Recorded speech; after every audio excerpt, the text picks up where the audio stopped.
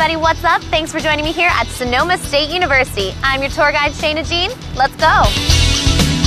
Sonoma State College is located in beautiful Sonoma County, California, just 50 miles north of San Francisco.